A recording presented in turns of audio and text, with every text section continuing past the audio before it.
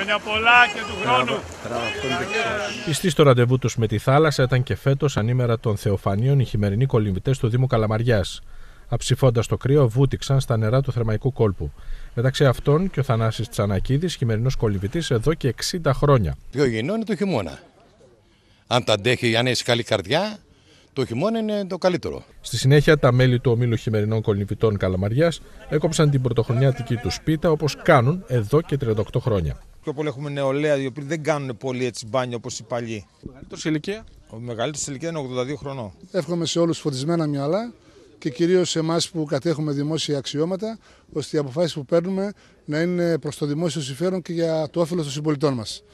Ε, καιροί που περνάμε είναι δύσκολοι, θα πρέπει να κοιτάξουμε μπροστά και να δουλέψουμε όλοι με συλλογικότητα και αλληλεγγύη για να έρθουν καλύτερες μέρες και για όλους μας και για τη χώρα μας.